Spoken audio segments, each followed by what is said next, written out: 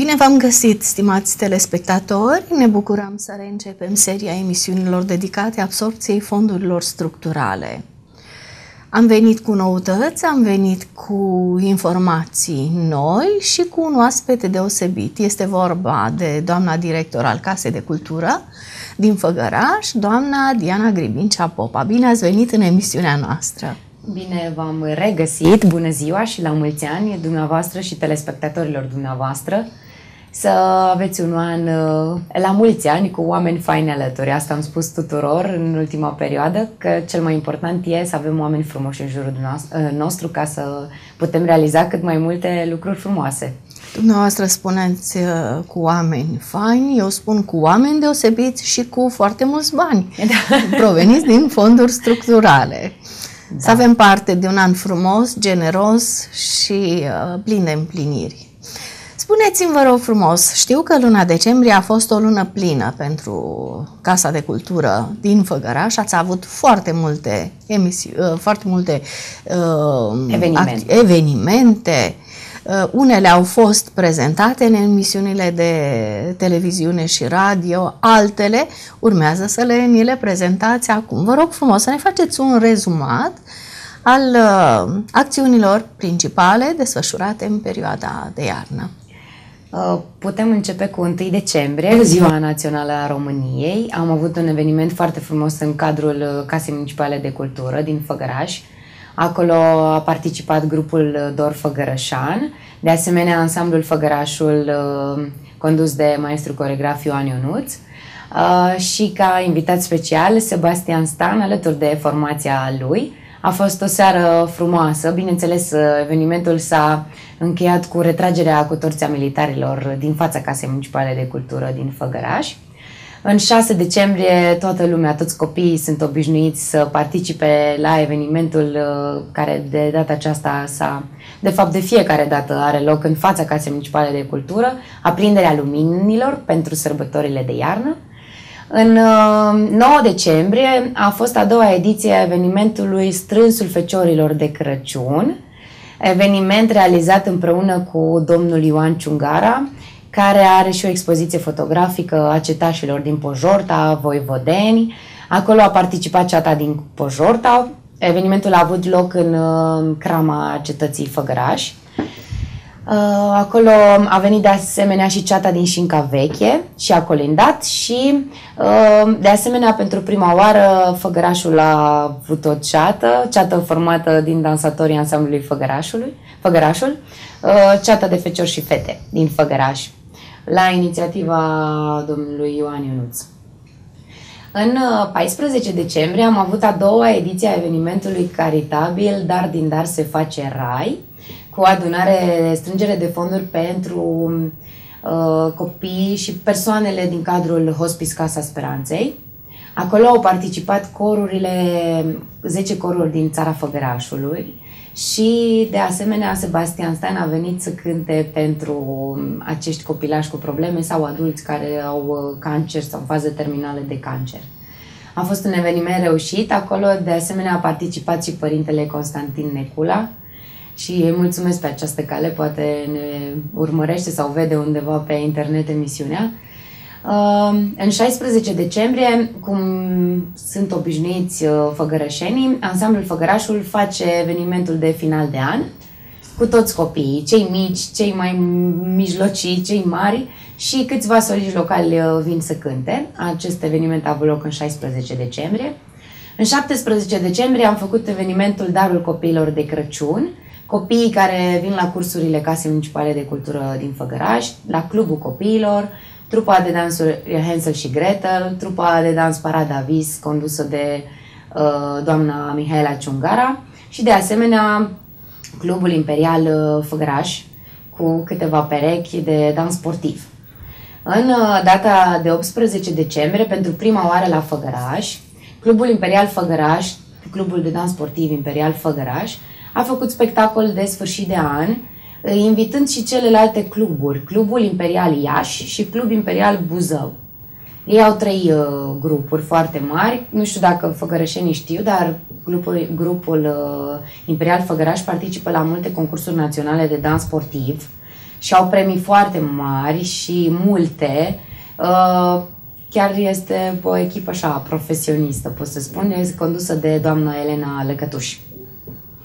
În uh, data de 19, sâmbătă, a avut loc în, uh, în uh, Crama Cetății din Făgăraș un eveniment, Crăciunul în satele Comunei Lisa.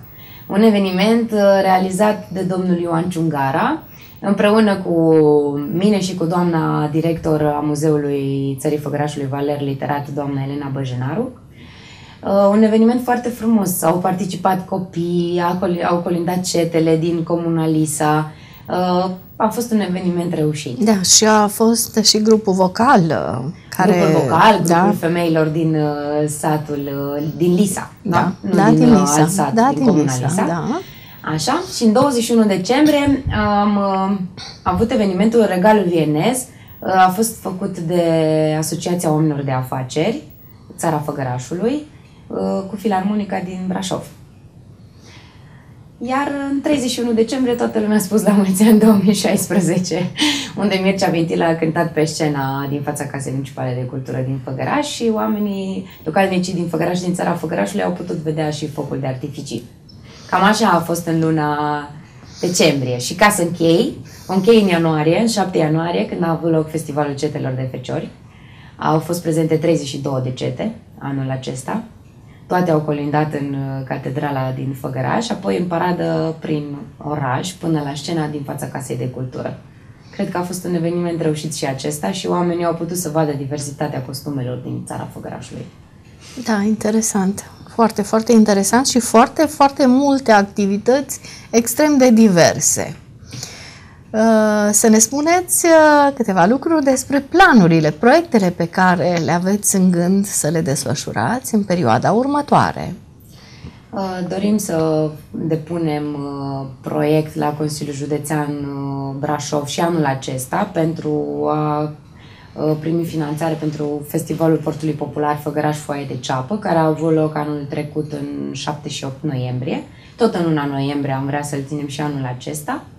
De asemenea, împreună cu Fundația Comunitară Țara Făgărașului, uh, am vrea să facem o tabără internațională de muzică la sfârșitul lunii iunie sau la începutul lunii iulie, uh, Music Camp International, Uh, acolo am dorit ca 200 de copii să învețe, minim 200 de copii, să învețe într-o săptămână să cânte la un instrument, uh, de asemenea să participe la cursuri de canto și la sfârșit să avem un spectacol cu toți cei care au participat la această tabără uh, cu filarmonica din Brașov sau o filarmonică adusă de cei care vor veni din America cu acest proiect. Și lectorii o să fie români și cei cu care au colaborat cei care fac de obicei Music Camp International și vom aduce și instrumente, totul va fi la dispoziția copiilor. Vom promova în scurt timp și această tabără. Și evenimentul acesta, da.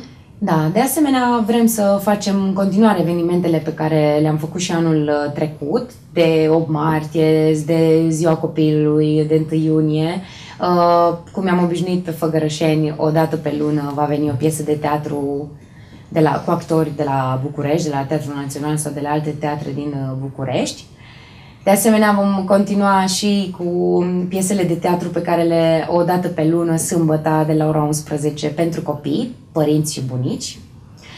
Și vedem ce finanțări mai găsim ca să mai facem câteva festivaluri. Vreau să vă spun doar că anul acesta Făgărașul împlinește 725 de ani de atestare documentară și toate evenimentele vor fi sub această denumire. Probabil vom realiza un calendar al evenimentelor pe 2016. Da, ă, administrația publică din Făgăraș a fost, este foarte norocoasă să aibă un director al Casei de Cultură ca dumneavoastră, întrucât sunteți fantastic de entuziastă și dornică de a aduce cu adevărat cultura în Făgăraș.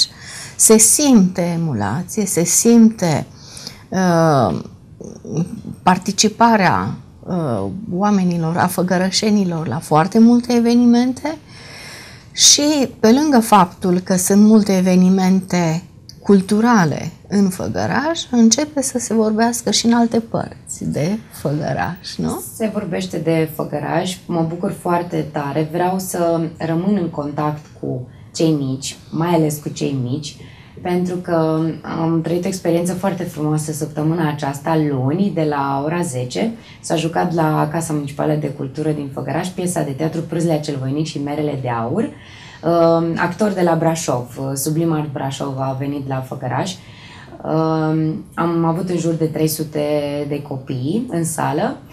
La ieșire, prima clasă care a ieșit, strigau copilașii, mulțumim, mulțumim! Eu am rămas așa, știam că piesa este foarte bună și actorii pun suflet foarte mult, că sunt niște oameni frumoși, uh, de care avem nevoie cu toți în jurul nostru. Și copiii erau atât de fericiți, învățătoarele lăcrimau. Am ajuns să lăcrimez, îmi spuneau învățătoarele. Asta cred că e foarte important, să ajungi la sufletul omului, care din toată nebunia zilelor de acum și vremurilor, ajung să se relaxeze la evenimentele noastre. Și un adult, să lăcrimeze la o piesă de teatru pentru copii înseamnă foarte mult. Înseamnă extraordinar de mult, da. Mi-ați spus că doriți să mm, accesați uh, fonduri uh, puse la dispoziție de Consiliul Județean da. pentru proiecte culturale și, uh, de asemenea, în situația în care sunt surse de finanțare naționale, sunt sigură că dumneavoastră veți dori să accesați astfel de fonduri pentru dezvoltarea de proiecte, proiecte comunitare, proiecte culturale, proiecte de, de, de interes uh, pentru Casa de Cultură. Uh, vestea bună pe care vă dau este că Uh, foarte mult uh, se încearcă în momentul acesta simplificarea procedurilor pentru absorpția de fonduri structurale.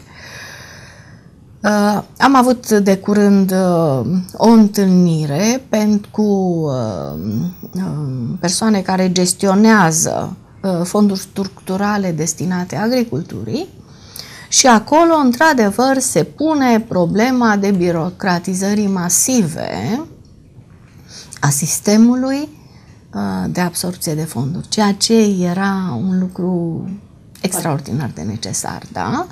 Uh, dumneavoastră ați accesat uh, fonduri de la Consiliul Județean și știți că birocrația Știm și se întinde. contul da, cât se... de mult a durat și după da. eveniment. După eveniment, normal, deci cheltuielile făcute da. de către beneficiar, de contul, cererile de plată se, se depun și de contul devine destul de târziu. Ei, în momentul acesta se discută foarte, foarte mult de optimizarea cadrului instituțional pentru absorpția de fonduri. Unul din motivele pentru care România a reușit să absorbă doar o, o sumă mică, mică. 25% din câte exact, am din, uh, din banii alocați uh, țării noastre, este tocmai acesta, birocrația excesivă. Și pe lângă aceasta sunt niște surse de finanțare care sunt destinate IMM-urilor, întreprinderilor mici și mijlocii. Și eu o să vă prezint două astfel de surse de finanțare. În primul rând este vorba de un ajutor nerambursabil oferit de guvern prin programul Start 2016. Despre ce este vorba? Despre firmele care sunt uh, la început de drum și pot să ia un ajutor nerambursabil până la 120 de mii, respectiv 26 de mii de euro. Uh, bugetul uh, acestui program este de 17 milioane de lei. Se estimează că aproximativ 144 de startup-uri, de firme de, de firme. început, da, vor beneficia din, uh, de acești bani. Uh, acest program este gestionat de Direcția de Politici Antreprenoriale din subordinea Ministerului Economiei și după cum am spus, un INMM poate să acceseze maximum 120.000 de lei, respectiv 26.000 de euro, reprezentând cel mult 90% din investiția totală, iar Restul de 10% trebuie să vină beneficiarul cu cu contribuția proprie. Prin urmare, contribuția la 13.300 de lei este uh, contribuția beneficiarului reprezentând cam 2900 de euro din uh, cei 26.000. La fel ca și la dumneavoastră, marea problemă, solicitantul trebuie întâi să investească da. banii săi, apoi statul îi certifică cheltuielile pe care le-a făcut și se decontează. Bineînțeles că înainte de decontare se face acea vizită în teren pentru verifica. a se verifica dacă proiectul s-a derulat în, în condiții corecte și atunci uh, se, se certifică plata. Decontul nu trebuie să fie făcut mai târziu de 9 decembrie 2016. Prin urmare, uh, ce uh, putem spune în această situație? Faptul că programul se va lansa destul de repede. În ce constă um, aplicația completarea unui plan de afaceri doar pentru obținerea finanțării. Acest plan de afaceri se face online pe site-ul Direcției de Politici Antreprenoriale a Ministerului Economiei și acum să vedem cam ce, cine poate să obțină această finanțare rambursabilă. Este vorba de IMM-uri care au capital integral privat, da. Care n-au beneficiat anterior de alocații financiare din aceeași sursă, care au cel mult 2 ani uh, de înregistrare la Registrul Comerțului, deci nu mai vechi de 2 ani, uh, la data deschiderii aplicației. Bineînțeles, nu are datorii la bugetul general consolidat și la bugetele locale, și acum ce putem cumpăra cu banii aceștia? Putem să cumpărăm echipamente tehnologice, mașini, utilaje. Da. Putem desfășura orice fel de activități, exceptând activități în agricultură, pentru că activitățile din agricultură sunt finanțate prin programul de dezvoltare rurală. De asemenea, nu sunt finanțate jocurile de noroc mecanice, electrice, electronice, mesele de biliard, instrumentele și automatele muzicale.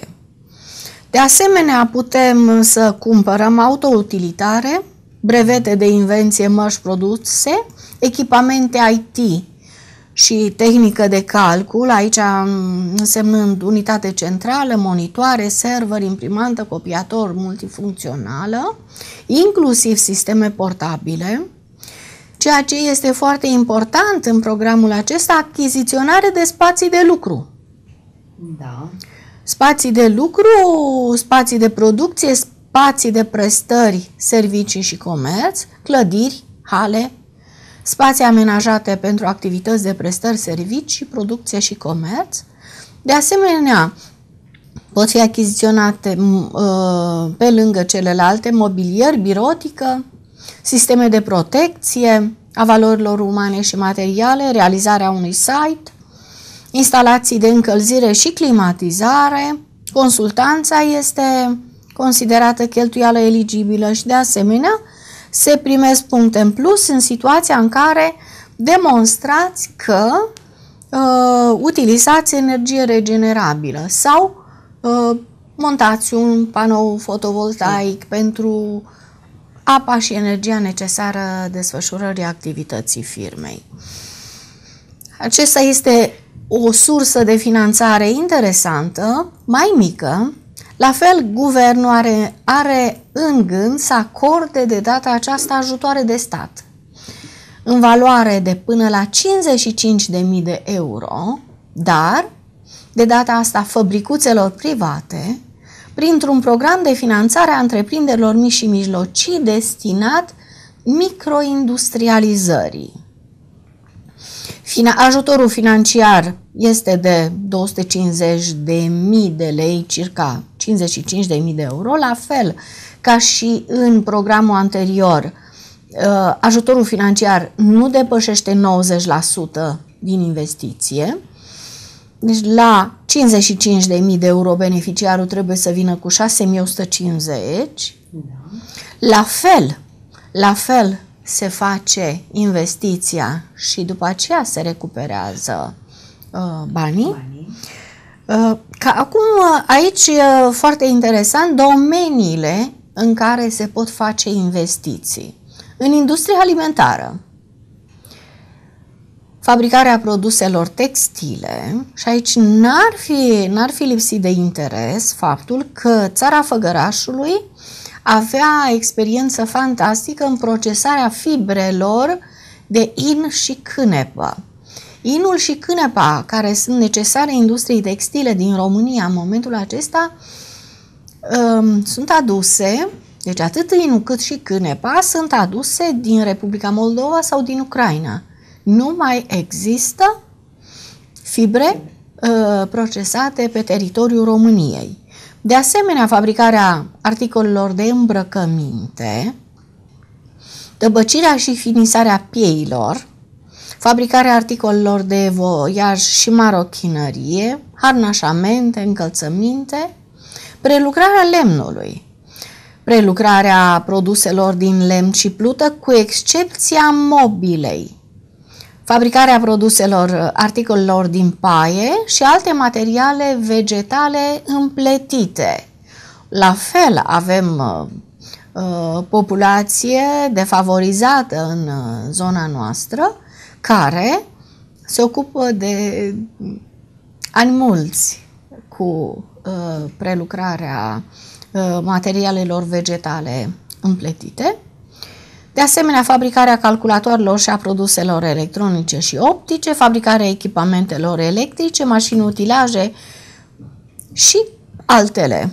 Ei, aici um, finanțatorul este mai permisiv, um, firmele trebuie să aibă cel mult 5 ani de la înregistrare la Registrul Comerțului la data deschiderii aplicației. La fel trebuie să demonstreze că nu au datorii și un lucru foarte, foarte important, uh, din banii, uh, după ce investesc și își construiesc această mini-fabricuță, ei trebuie să demonstreze că reinvestesc anual minim 30% din profit pe o perioadă de 3 ani. Finanțatorul impune aceste, uh, această reinvestire pentru ca unitatea comercială respectivă să se dezvolte în viitor, de asemenea, și uh, a, trebuie să angajeze pe o perioadă nedeterminată, cu un program de 8 ore, uh, minimum 2 salariați. La fel și aici putem să ne cumpărăm echipamente tehnologice de toate felurile, uh, calculatoare, aparate de instalații, măsură și control, și aici achiziționare de spații de lucru și spații de producție, inclusiv din elemente prefabricate și, la fel, consultanța este acoperită prin acest uh, program. Sperăm că tinerii care vor să-și dezvolte o afacere să, să urmărească această emisiune și să, ghid, să se ghideze după ce le-ați spus dumneavoastră. Sigur, sigur, este, uh, sunt, vești, sunt vești interesante, este o oportunitate deosebită pentru ei să-și dezvolte uh, ideile de afaceri. Mai departe, uh, documentația care trebuie atașată pentru această aplicație nu este birocratică deloc, este foarte mult simplificată și sperăm să avem uh, aplicanți serioși din, și din țara, țara Făgărașului, sigur. Da. Uh, stimați telespectatori, aceasta a fost emisiunea noastră. Mulțumim încă o dată invitatei noastre pentru participarea la emisiunea noastră. Și eu vă mulțumesc frumos și când uh, putem aplica și pentru evenimente culturale, uh, cu siguranță o vom face și de la Casa Municipală de Cultură din Făgăraș. Sigur, sperăm că emisiunea noastră Uh, v-a plăcut, ați fost alături de noi în, această, în uh, acest timp și sperăm ca uh, împreună să putem dezvolta țara Făgărașului prin proiecte inovatoare, prin proiecte deosebite, prin proiecte care să aducă bunăstare și fericire în, pentru locuitorii țării Făgărașului. Vă mulțumim!